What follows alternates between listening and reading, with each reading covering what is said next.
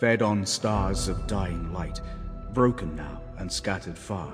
For sins of violence and deceit, soul greed, brought down those bright, enduring beings more luminous than we.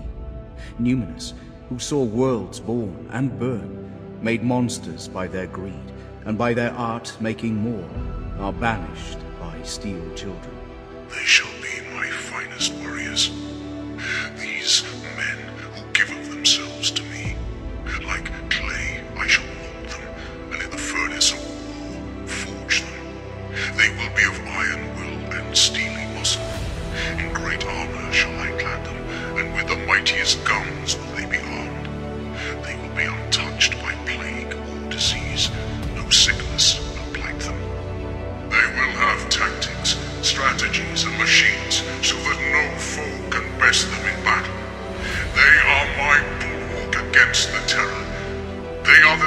Defenders of humanity. They are my space marines, and they shall know no fear. Fine words, but I know they are not true. I know there are beings a space marine cannot best. I am not ashamed to say to you that I have no fear. What is that noise? Be brave, my little warriors.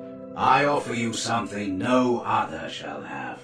Power to serve humanity as no others have served.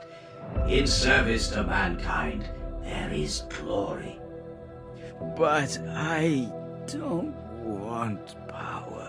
And that is why you shall have it. What is that banging? Did I disturb you? You. Turn it off! You have no need to kneel. Knowledge should not kneel to power. Cawl! Shut it down! It should be the other way around. Alas, it is not always so. Aye. Cawl! Shut it down!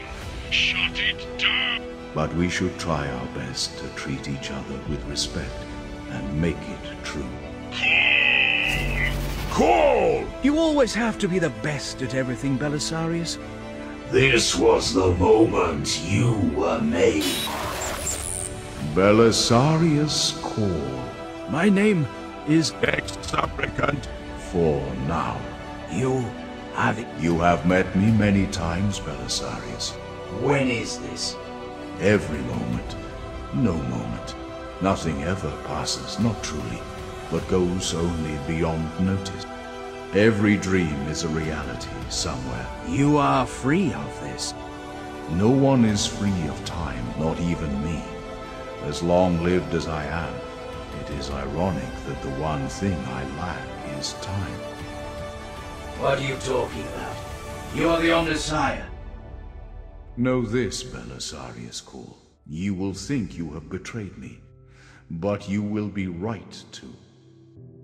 You will not again.